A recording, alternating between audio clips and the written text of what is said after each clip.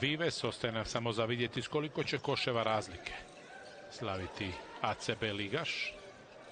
Kalj